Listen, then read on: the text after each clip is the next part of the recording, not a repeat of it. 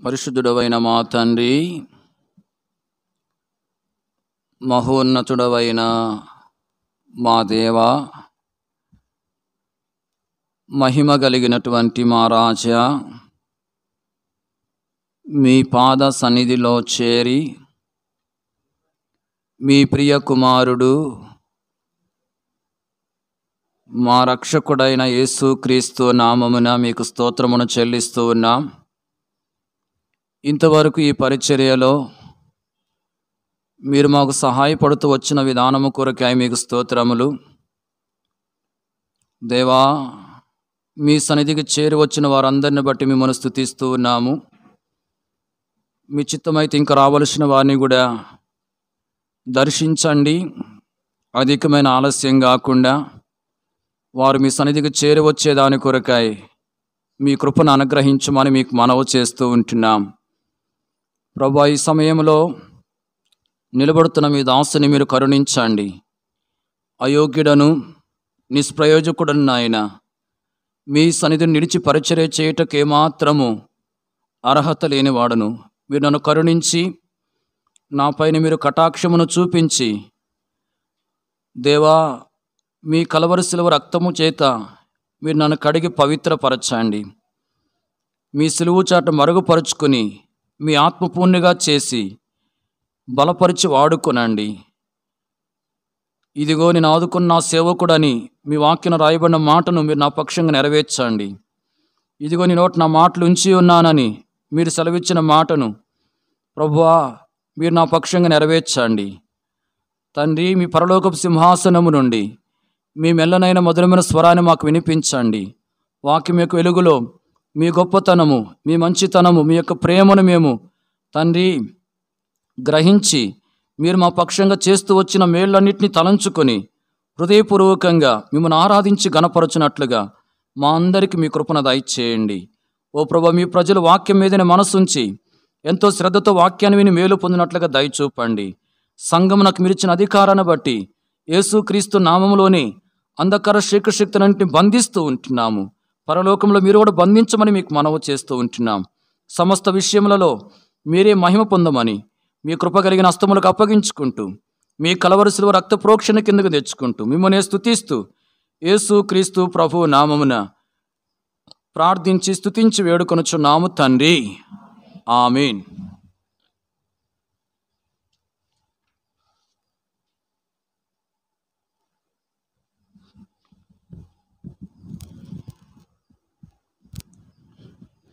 ఈ సమయంలో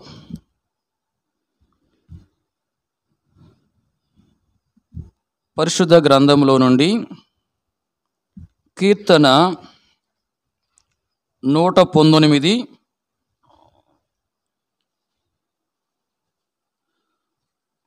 నూట ఇరవై నాలుగో వచ్చినాన్ని మనమందరం కలిసి చదువుకుందాం.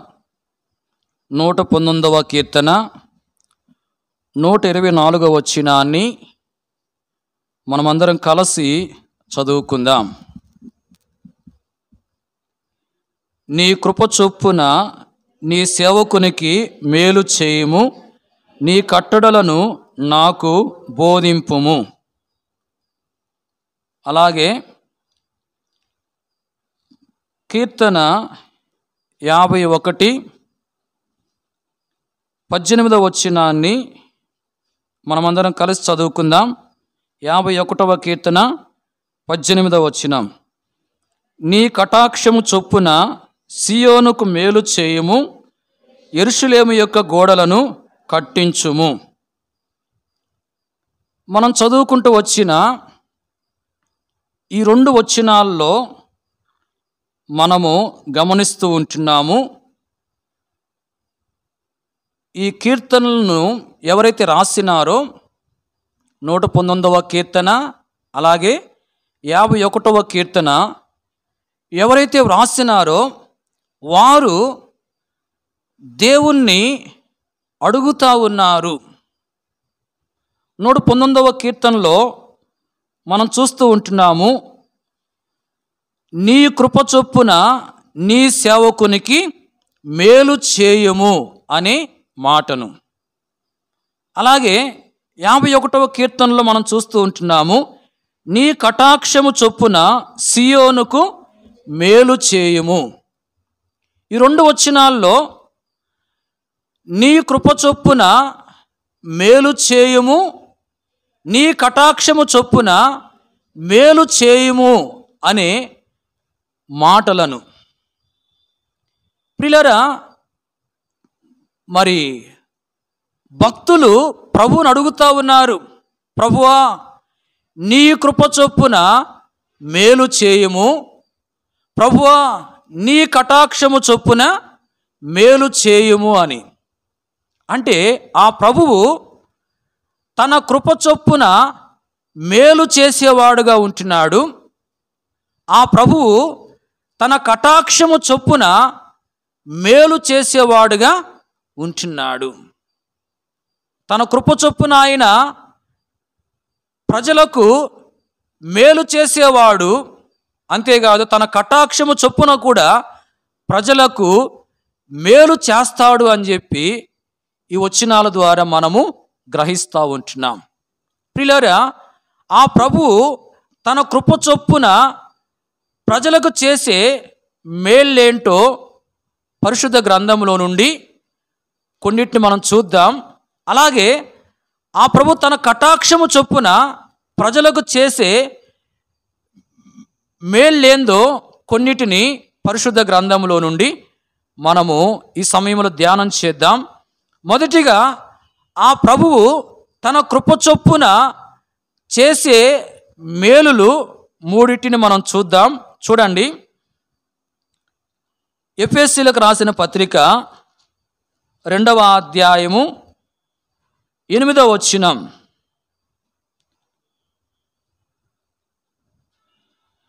మీరు విశ్వాసము ద్వారా కృపచేతని రక్షింపబడి ఉన్నారు. ఇది మీ వలన కలిగినది కాదు దేవుని వరమే. ప్రిలారా ఈ వచ్చును మనం చూస్తున్నాము మీరు విశ్వాసము ద్వారా కృపచేతని రక్షింపబడి ఉన్నారు అనే మాటను. ఆ ప్రభువు తన కృపచేత రక్షణనిచ్చేవాడుగా ఉంటూ ఉన్నాడు. లోకంలో మనుషులందరూ పాపులుగా ఉన్నారు. ప్రతి మనుషుల్లో పాపపు లక్షణాలు అనేవి ఉన్నాయి. ఈ పాపపు లక్షణాలను బట్టి మనుషులు నిత్య నరక శిక్షకు పాత్రులుగా ఉన్నారు. గమనించండి మనుషుల్లో ఉన్న పాపాలను బట్టి మనుషులు నిత్య నరక శిక్షకు పాత్రలుగా ఉంటా ఉన్నారు ఆ నరక శిక్ష నుండి మనుషులను రక్షించేదాని కొరకు ప్రభు అయిన యేసుక్రీస్తు వారు దేవుడయుండి మనుషుడిగా యొక్క లోకానికి వచ్చాడు. ఆ కలవర శిలువలో పాపులైనటువంటి మానవులందరికీ బదులుగా శిక్షను భరించినటువంటి వాడుగా ఉన్నాడు. మనం చేసిన పాపాన్ని బట్టి ఆ ప్రభు యొక్క చేతుల్లో చీళ్ళ కొట్టబడ్డాయి. ఆ ప్రభు యొక్క పాదాల్లో మేకు కొట్టబడింది. ఆ ప్రభు యొక్క పక్కలో బల్లిపోటు పొడబడింది. ఆ ప్రభు యొక్క తలకు ముళ్ళ కిరటం పెట్టబడింది. ఆ ప్రభువు తన సొగసును స్వరూపాన్ని కోల్పోయి చూడలని వానిగా చేయబడి తన రక్తమంతటిని చిందించి తన ప్రాణం అర్పించాడు. సమాధి చేయబడి తిరిగి లేచిన వాడుగా ఉన్నాడు. ప్రియులారా ఈ విధంగా ప్రభువు ఇంతటి గొప్ప క్రయాన్ని ఎందుకు చెల్లించాడు అంటే పాపులైనటువంటి మానవులను నరక శిక్ష నుండి రక్షించడానికి. ఎవరైతే ఇంతటి గొప్ప క్రయాన్ని చెల్లించిన యేసు ప్రభువునందు విశ్వాసం ఉంచి పాపను ఒప్పుకుని క్షమించమని ప్రభుని అడుగుతారో ఆ ప్రభువు వారికి తన కృప చొప్పున తన కృపను బట్టి నరక శిక్ష నుండి రక్షణనిచ్చేవాడుగా ఉంటున్నాడు. తన కృప చొప్పున ఉచితంగానే ప్రిలరా వారిని ఆయన నరక శిక్ష నుంచి రక్షించేవాడుగా ఉంటా ఉన్నాడు. కాబట్టి ఎవరైతే పాపములోనే జీవిస్తూ ఉన్నారో హృదయంలో పాపాన్ని కలిగి కొనసాగుతూ ఉన్నారో వారు యేసు ప్రభునందు విశ్వాసం ఉంచాలి హృదయపూర్వకంగా పాపాన్ని ఒప్పుకోవాలి. క్షమించమని ప్రభువుని అడగాలి. ఆ విధంగా మరి చేస్తే ఆ ప్రభువు తప్పకుండా పాపములన్నీ క్షమిస్తాడు. ఆ ప్రభు తన కృప చొప్పున నరక శిక్ష నుంచి రక్షిస్తాడు. కాబట్టి ఎవరైతే ఇంకా పాపములో జీవిస్తూ ఉన్నారో వారు ఇప్పుడైనా ప్రభుని అంగీకరించి నరక శిక్ష నుంచి రక్షణ పొందాలి అని వాక్యం తెలియపరుస్తూ ఉంది. ప్రియులారు ఇప్పటికి ఎవరైతే రక్షణ పొందినారో వారు ప్రభువును ఆరాధించి ప్రభును స్తుతించాలి. ఎందుకంటే ఆ ప్రభువు తన కృప చొప్పున తన కృపను బట్టి ఇంత గొప్ప రక్షణను ఇచ్చాడు కాబట్టి ఆయన ఎందు విశ్వాసం ఉంచుట ద్వారా పాపను ఒప్పుకుని క్షమించమని ప్రభుని వేడుకున్నట ద్వారా ఉచితంగా నా ప్రభు ఏం చేశాడంటే ప్రిలరా మనకు రక్షణనిచ్చాడు. నరక శిక్ష నుంచి తన కృప చొప్పున మనకు రక్షణనిచ్చాడు కాబట్టి ప్రియుల రక్షణ పొందిన వారందరూ ఆ ప్రభు ఇచ్చిన రక్షణను బట్టి ఆ ప్రభు తన కృపను బట్టి ఇచ్చిన రక్షణను బట్టి ఆ ప్రభును స్తుతించి గణపరిచేవారుగా ఉండాలి. ఆ ప్రభువు తన కృప చొప్పున మేలు చేసేవాడుగా ఉన్నాడు. ప్రిలరా ఆ ప్రభు తన కృప చొప్పున మనకు చేసిన మేలేంది అంటే ఆ ప్రభు తన కృప చొప్పున మనకు నరక శిక్ష నుండి రక్షణనిచ్చాడు. దాన్ని బట్టి మనం ఆయన్ను ఆరాధించాలి. అలాగే ఇంకొక మాట చూడండి. ఆ ప్రభు యొక్క కృప చొప్పున మనకు కలిగే ఇంకొక మేలును మనం చూద్దాం. రోమిలకు రాసిన పత్రిక మూడవ అధ్యాయం ఇరవై నాలుగో వచ్చినాం కాబట్టి నమ్మువారు ఆయన కృపచేతని క్రీస్తు యేసునందలి విమోచనము ద్వారా ఉచితముగా నీతిమంతులని తీర్చబడుచున్నారు. చూని వచనములో నమ్మువారు ఆయన కృపచేతనే క్రీస్తు యేసునందలి విమోచనము ద్వారా ఉచితముగా నీతిమంతులని తీర్చబడుచున్నారని ఇక్కడ రాయబడింది. అంటే పిల్లరా ఆ ప్రభువు పాపులుగా ఉన్నటువంటి మనుషులను తన కృపచేత ఉచితముగాను నీతిమంతులుగా తీరుస్తా ఉన్నాడు. ఆ ప్రభువు పాపులను నీతిమంతులుగా తీర్చడానికి ఆ కలవరు సిలువలో బలైపోయాడు. పాపులను నీతిమంతులుగా చేయడానికి సిలువలో ఎంతో గొప్ప క్రయాన్ని చెల్లించాడు. ఎవరైతే ఆ ప్రభువుని నమ్ముతారో ఎవరైతే ఆ ప్రభునందు విశ్వాసం ఉంచి పాపను ఒప్పుకుంటారో వారి యొక్క పాపాలన్నీ ఆ ప్రభు క్షమించేసి వారిని ఆయన ఉచితముగా నీతిమంతులుగా తీరుస్తాడు అని చెప్పి వాక్యం మనకు తెలియపరుస్తూ ఉంది. ప్రియులను గమనించండి. ఆయన తన కృప చొప్పున పాపులుగా ఉన్న వారిని నీతిమంతులుగా తీరుస్తా ఉన్నాడు. ఆయన ఎందు విశ్వాసం ఉంచి హృదయపూర్వకంగా పాపాన్ని ఒప్పుకున్న ప్రతి వారి యొక్క పాపాన్ని తొలగించి వేసి వారిని ఆయన తన కృప చొప్పున నీతిమంతులుగా తీరుస్తా ఉన్నాడు. ఎవరైతే నీతిమంతులుగా తీర్చబడతారో ఎవరైతే నీతిమంతులుగా చేయబడతారో వారు నిత్య జీవానికి వెళ్తారని మత్తీసు వార్తలో ఇరవై ఐదో అధ్యాయం చివరి వచనంలో వ్రాయబడి ఉంది. నీతిమంతులు నిత్య జీవమునకు పోవుదురు అని. అంటే మరి వాళ్ళకి నరక శిక్ష ఉండదు. నీతిమంతులకు నరక శిక్ష ఉండదు. ప్రియుల నీతిమంతులుగా చేయబడిన వాళ్ళు పరలోకానికి చేరేవారుగా ఉంటారు. నీతిమంతులుగా చేయబడిన వాళ్ళు పరలోకములో ప్రవేశించి ఆ ప్రభువుతో ఎల్లప్పుడూ సంతోషంగా ఉంటారు అని చెప్పి వాక్యము తెలియపరుస్తూ ఉంది. వాక్యం మనం చూస్తూ ఉంటున్నాము ఆ ప్రభువు తన కృపచేత పాపులుగా ఉన్నటువంటి వారిని నీతిమంతులుగా తీర్చి అంటే పాపులుగా ఉండి ఆయన నమ్ముకుని పాపను ఒప్పుకున్న వారు నీతిమంతులుగా తీర్చి ప్రిలర వారిని పరలోకానికి వారసులుగా చేస్తా ఉన్నాడు. మన జీవితంలో కూడా ఒకప్పుడు మరి రక్షణ పొందిన మనము ప్రభుని అంగీకరించిన మనము ప్రభుని ఎరగక మునుపు పాపులంగా ఉంటా వచ్చాము. ఆయన నమ్ముకొని మన పాపలు ఒప్పుకున్నట్టు ద్వారా ఆ ప్రభువు మన పాపములన్నిటినీ క్షమించాడు.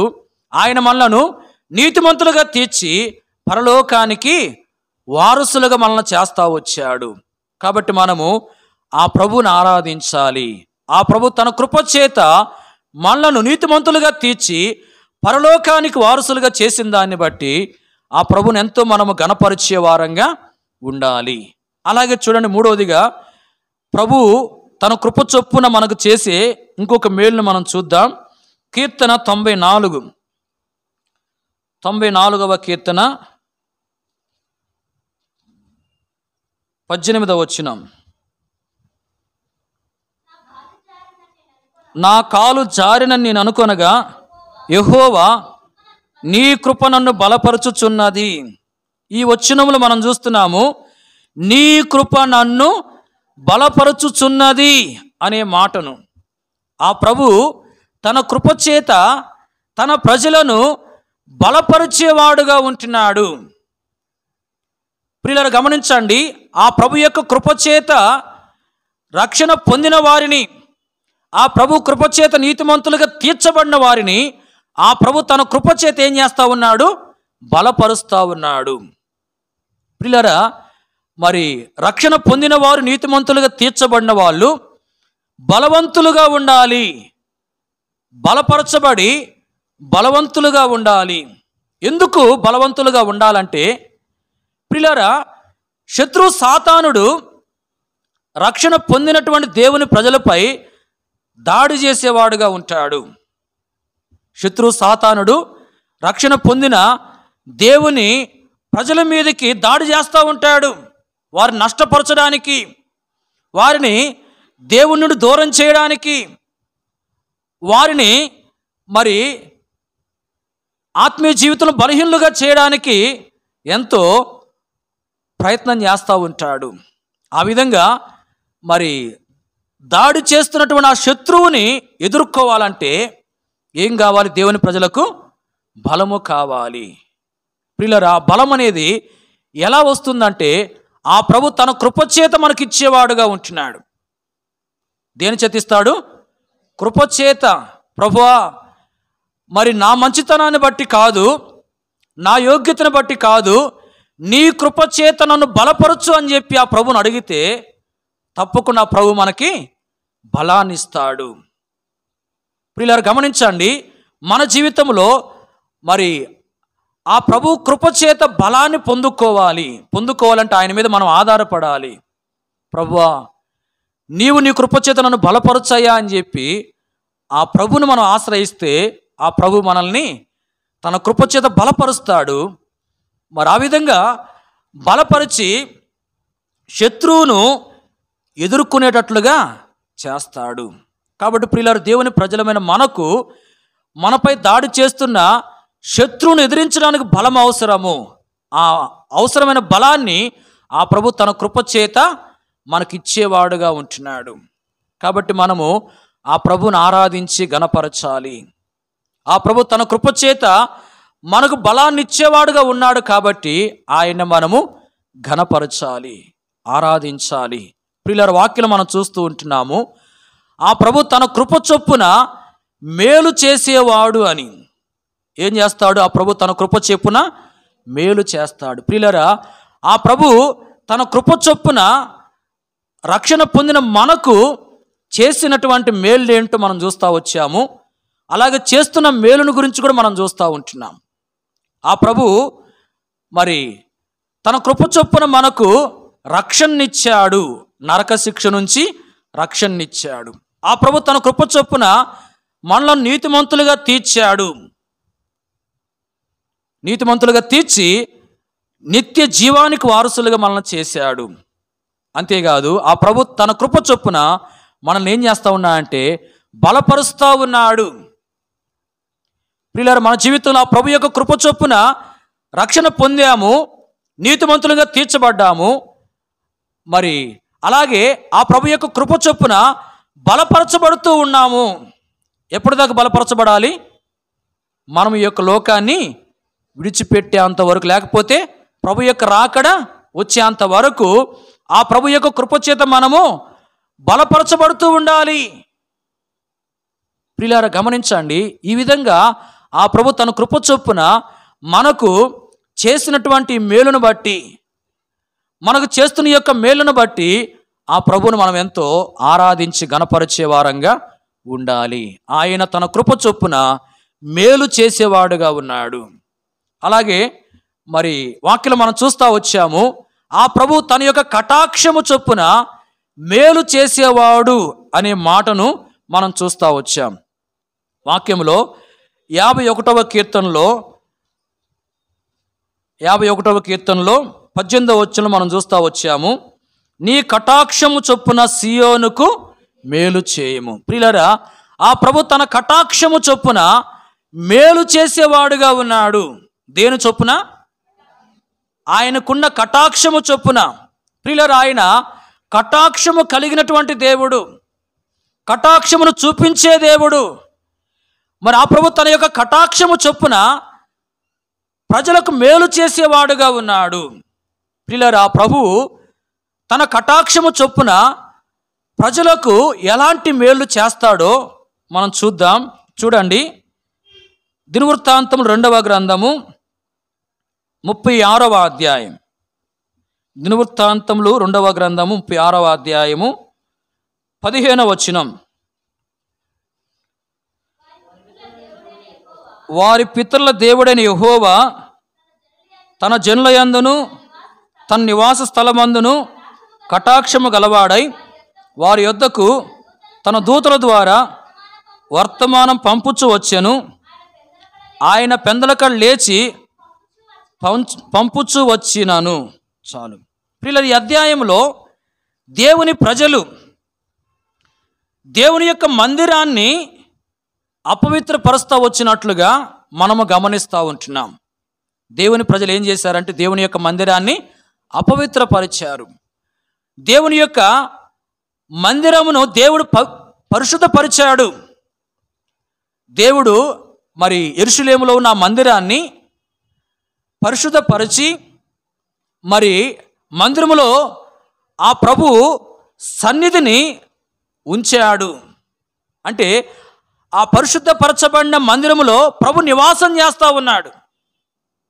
ఎందుకంటే ఆయన పరిశుద్ధుడు మరి కాబట్టి ఆయన పరిశుద్ధమైన స్థలముల్లోనే నివసిస్తాడు. ఇప్పుడు మరి ఎరుషులేములో ఉన్నటువంటి ఆ యొక్క మందిరం పరిశుద్ధపరచబడి ప్రభు నివసించే స్థలముగా ఉంది. అలాంటి పరిశుద్ధపరచబడిన ఆ మందిరాన్ని ప్రజలు ఏం చేస్తూ వచ్చారంటే అపవిత్రపరిచారు. దేవుడు నివసించడానికి వీలు లేకుండా చేశారు. ఇప్పుడు ఏం చేయాలా? దేవుడు వారిని వాళ్ళు చేసినటువంటి యొక్క చెడు కార్యాన్ని బట్టి వారిని శిక్షించాలి. అయితే వారు చేసిన ఈ చెడు కార్యాన్ని బట్టి వెంటనే వారిని శిక్షించలేదు దేవుడు. ఏం చేశాడంటే తన జనుల యందు కటాక్షము కలిగిన వాడై వారి దగ్గరికి తన దూతల ద్వారా అంటే తన యొక్క సేవకుల ద్వారా తన యొక్క దాసుల ద్వారా వర్తమానం పంపించాడు. మరి ఆ చెడు కార్యాన్ని చేసినటువంటి వాళ్ళు ఎవరంటే దేవుని ప్రజలే. మందిరాన్ని అపవిత్రపరిచింది ఎవరు? దేవుని ప్రజలే. ఇప్పుడు మరి దేవుని ప్రజలు చెడు కార్యం చేసినప్పుడు దేవుడు ఆ ప్రజల యందు కటాక్షము కలిగిన వాడై ఏం చేశాడంటే తన దూతల ద్వారా అంటే తన యొక్క సేవకుల ద్వారా తన యొక్క దాసుల ద్వారా వర్తమానం పంపించాడు. వాళ్ళు వచ్చి వర్తమానం తెలిపారు అయ్యా మీరు దేవునికి వ్యతిరేకంగా చెడు కార్యాలు చేస్తూ ఉన్నారు. ఈ విధంగా మీరు చేస్తున్న చెడు కార్యాలను బట్టి దేవుడు మీరు శిక్షిస్తాడు. కాబట్టి మీరు చెడు కార్యాలు మానుకోండి అని చెప్పి ఆ దేవుని యొక్క దాసులు వచ్చి జనులకు ప్రకటిస్తూ వచ్చారు. ప్రిలరా మరి ప్రకటించినా కూడా వాళ్ళు ఏం చేశారంటే జనులు లోబడలేదు. దేవుడు ఎవరినైతే పంపించాడో వారిని ఎగతాలు చేశారు అపహాసం చేశారు హింసించారు. దాన్ని బట్టి దేవుడు ఏం చేశాడంటే మరి వారిని ఎంతో శిక్షించినట్లుగా వాక్యంలో మనము గమనిస్తూ ఉంటున్నాం. చూడండి ఇక్కడ దేవుడు తన ప్రజలు దేవునికి విరోధంగా పాపం చేసినప్పుడు వెంటనే శిక్షించలేదు వారి ఎందుకు కటాక్షం కలిగిన వాడై వాళ్ళు సరిచేసుకుంటారు అని చెప్పి తన దాసుల ద్వారా వర్తమానాన్ని పంపించాడు. పిల్లలు గమనించిన మన జీవితంలో దేవుని ప్రజలంగా దేవునికి వ్యతిరేకంగా ఏదైనా కార్యం చేసినప్పుడు వెంటనే దేవుడు శిక్షించాడు కొన్ని సందర్భాల్లో. ఏం చేస్తాడంటే మరి సరి చేసుకునే దాని కొరకై అవకాశం ఇస్తాడు. ఇక్కడ కటాక్షము కలిగి దేవుడు తన దాసుల ద్వారా వర్తమానం పంపించినట్లుగానే మన జీవితంలో దేవునికి వ్యతిరేకం కార్యాలు చేసినప్పుడు వెంటనే దేవుడు శిక్షించకుండా ఏం చేస్తాడంటే సరి చేసుకోవడానికి అవకాశం ఇస్తాడు తన యొక్క దాసుల ద్వారా. ఆయా విధాలుగా దేవుడు మనతో మాట్లాడతాడు. మనం సరి చేసుకునే అవకాశం ప్రవహిస్తూ ఉన్నాడు. దేన్ని బట్టి అంటే మన ఎడల ఆయనకున్న కటాక్షాన్ని బట్టి. ఇక్కడ జనులు మరి చెడు కార్యం చేసినా కూడా దేవుడు వారిని శిక్షించలేదు కారణం ఏంటంటే వారి ఎందు దేవుడు ఏం కలిగి ఉన్నాడు? కటాక్షము కలిగి ఉన్నాడు. కటాక్షం కలిగి సరి చేసుకోవడానికి దేవుడు వారికి అవకాశం ఇచ్చాడు. కానీ వాళ్ళు ఏం చేసుకోలేదు? సరి చేసుకోలేదు. కాబట్టి అప్పుడు ఏం చేశాడు? వాళ్ళ మీద మరి తన ఉగ్రత చూపించాడు. వారి మీద తన యొక్క కోపాన్ని బయలుపరుస్తూ వచ్చాడు. పిల్లలు గమనించండి ఇక్కడ. కటాక్షము కలిగి ప్రభు సరి చేసుకునే అవకాశం ఇస్తా ఉన్నాడు. కాబట్టి ఇక్కడ సరి చేసుకునే అవకాశం అనేది ఆ ప్రజలు పొందారు అంటే దేని బట్టి? దేవుని యొక్క కటాక్షమును బట్టి. కాబట్టి దేవుడు తన కటాక్షము చొప్పున మేలు చేసేవాడుగా ఉన్నాడు. ఏంది ఆ ప్రభు కటాక్షం చొప్పున తన ప్రజలకు చేసే మేలు అంటే పిల్లరా తప్పు చేసినప్పుడు సరి చేసుకునే అవకాశం ఇస్తా ఉన్నాడు. అదే ఆ ప్రభు చేసే మేలు. ఆ- ప్రభు యొక్క కటాక్షాన్ని బట్టి తన ప్రజలకు సరి చేసుకోవడానికి అవకాశం ఇస్తూ ఉన్నాడు. అలాగే ఇంకొక విషయాన్ని మనం చూద్దాం. చూడండి యోనా గ్రంథములో నాలుగో అధ్యాయము రెండవ వచ్చినం యోనా గ్రంథము నాలుగు రెండు. యహోవా నేను నా దేశమందుండగా ఇట్లు జరుగునని నేను అనుకుంటుని కదా అందువలనే నీవు కటాక్షమును జాలియును బహుశాంతమును అత్యంత కృపయు గల దేవుడు ఉండి పశ్చాత్తాపడి కీడు చేయక మానుదు అని నేను తెలుసుకుని దానికి ముందుగానే తర్శిషునకు పారిపోతిని. ఈ వచనంలో దేవుడు కటాక్షము కలిగిన వాడు అని చెప్పి దేవుని గురించి రాయబడి ఉంది. దేవుడు ఎలాంటి వాడు కటాక్షము కలిగిన దేవుడు. ఆయన కటాక్షం కలిగిన దేవుడుగా ఉండి చెయ్యాలి అనుకున్నటువంటి కీడు చేయకుండా మానుకునేవాడు అని ఈ వచనములో వ్రాయబడి ఉంది. నినివే పట్టణస్థులో మరి నినివే పట్టణంలో ఉన్న ప్రజలు దేవునికి వ్యతిరేకంగా పాపాలు చేస్తూ వచ్చారు. పాపాలు చేస్తూ ఉన్నప్పుడు దేవుడు ఆ యొక్క నినివే పట్టణాన్ని నాశనం చేయాలని చెప్పి ఉద్దేశించాడు. యోనాను పంపి మరి ఆ నినివే పట్టణానికి యోనాను పంపించాడు. మొదట యోనా ఒప్పుకోలేదు అంటే లోబడి వెళ్ళలేదు ఆ తర్వాత లోబడి వెళ్ళి ఆ నినివే పట్టణస్థులకు దేవుని యొక్క మాటలు ప్రకటించాడు. నలభై దినాల్లో ఈ పట్టణము నాశనం కాబోతుందని చెప్పి ప్రకటించాడు. ప్రకటించినప్పుడు ఆ పట్టణస్థులు ఏం చేస్తా వచ్చారు అంటే మరి ఎప్పుడైతే ఆ ప్రకటనలు విన్నారో యోనా ద్వారా వాళ్ళు మరి పశ్చాత్తాపడ్డారు. వాళ్ళు చేస్తున్న చెడు కార్యాలన్నీ మానుకున్నారు. దేవునికి విరోధమైన పనులన్నీ విడిచిపెట్టేశారు. ఆ విధంగా మరి యోనా ద్వారా ప్రకటన విని వాళ్ళ జీవితంలో పశ్చాత్తాపడి చెడు కార్యాలన్నీ విడిచిపెట్టడము దేవుడు చూచి వారి యందు కటాక్షము కలిగిన వాడై వారికి చెయ్యాలి అనుకున్న కీడు వాళ్ళకి దేవుడు చేయలేదు. ఎందుకు? వాళ్ళు సరి చేసుకున్నారు. వారిలో ఉన్నటువంటి చెడుతనం విడిచిపెట్టేశారు. వారిలో ఉన్న దేవునికి వ్యతిరేకమైన పాపాలన్నీ వదిలేశారు. చెడు పనులు చేయడం మానుకున్నారు. కాబట్టి దేవుడు మరి కటాక్షం కలిగిన దేవుడు గనుక చేయాలి అనుకున్న కీడు చేయలేదు. ప్రియులారు గమనించండి ఇక్కడ. కటాక్షం కలిగిన దేవుడు మరి సరి చేసుకుంటే చేయాలి అనుకున్న కీడును చేయకుండా మానుకుంటాడు అని చెప్పి ఈ సందర్భం ద్వారా మనము గ్రహిస్తూ ఉంటున్నాం. అంటే ఏదైనా మరి పాపం అనేది మనలో ఉన్నప్పుడు మనలో ఉన్న పాపాన్ని బట్టి దేవుడు మనల్ని ఏం చేయాలా? శిక్షించాలి. అయితే మనలో పాపం ఉందని చెప్పి మనం గ్రహించి మనలో ఉన్న పాపాన్ని మనము పశ్చాత్తాపంతో ఒప్పుకొని ఆ పాపాన్ని విడిచిపెట్టామనుకో దేవుడు కటాక్షము కలిగిన దేవుడు కాబట్టి చేయాలనుకున్నటువంటి కీడు చేయకుండా ఆ కీడును దూరం చేస్తాడు. అంటే మనకు రావాల్సిన శిక్షణ ఏం చేస్తాడు? తొలగించి వేస్తాడు. పిల్లరా గమనించండి కటాక్షం కలిగిన దేవుడు నినివే పట్టణస్తులను నాశనం చేయాలనుకున్నాడు. కానీ వాళ్ళు చేస్తున్న చెడు కార్యాలు మానుకున్నారు కాబట్టి చేయాలనుకున్న కీడు చేయకుండా ఆయన మానుకున్నట్లుగా మనం చూస్తూ ఉంటున్నాం. కటాక్షాన్ని బట్టి నినివే పట్టణస్తులు ఏం పొందారు? మేలు పొందారు. ఇక్కడ సరి చేసుకున్న వారు ప్రిలరా మరి ఆ ప్రభు యొక్క కటాక్షము ద్వారా మేలు పొందుతారు.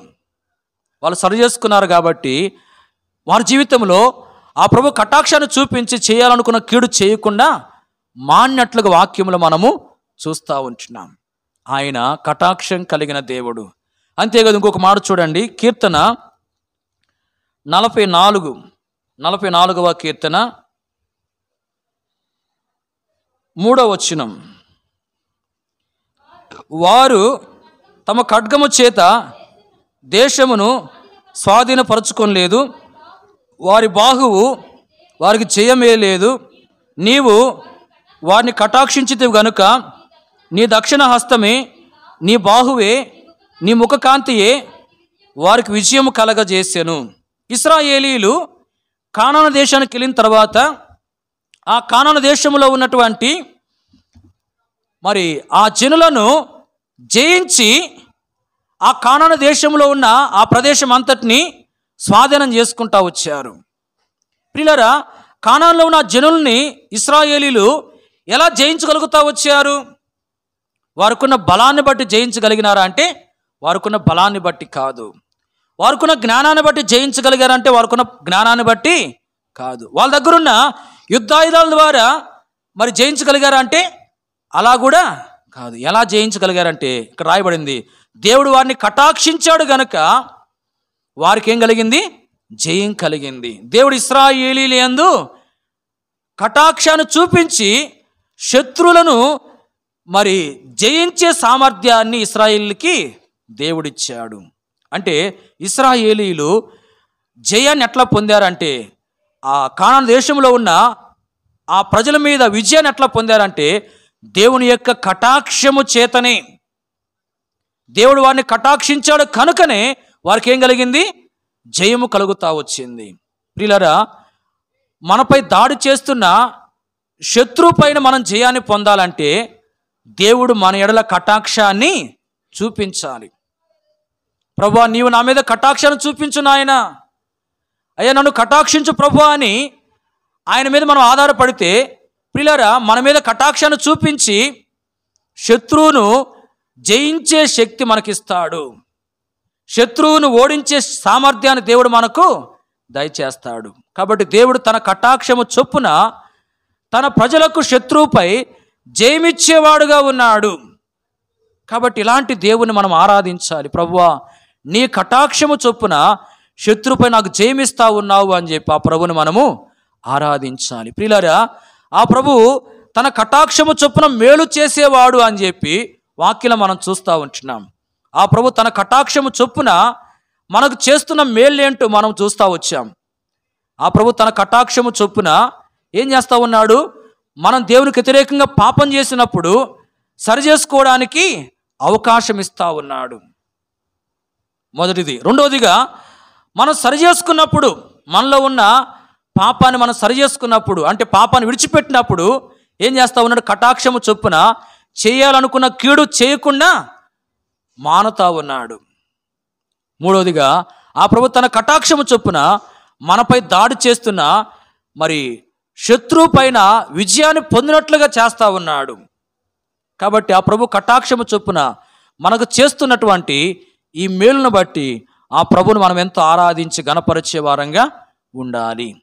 ఈ సమయంలో రెండు విషయాలు మనం చూస్తూ వచ్చాం పరిశుద్ధ గ్రంథంలో నుండి. ఆ ప్రభువు తన కృప చొప్పున మేలు చేసేవాడుగా ఉన్నాడు. మొదటిది. రెండవదిగా ఆ ప్రభువు తన కటాక్షము చొప్పున మేలు చేసేవాడుగా ఉన్నాడు. ప్రిలారా ఆ ప్రభు తన కృప చొప్పున మనకు చేసిన మేళ్ళన్నిటిని బట్టి ఆ ప్రభు తన కటాక్షము చొప్పున మనకు చేసిన మేళ్ళన్నిటిని బట్టి ఆ ప్రభును మనం ఎంత ఆరాధించి గణపరిచే వారంగా ఉండాలి. ప్రభు ఆ రీతిగా మనకు సహాయం చేయనుగాక